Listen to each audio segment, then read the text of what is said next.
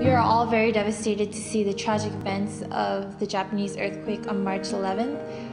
All of our thoughts and our prayers and condolences are sent out to the people of Japan, especially to the worst affected areas of northeastern Japan, to support the various charities that are working so hard to rebuild and restore the hope of the people of Japan.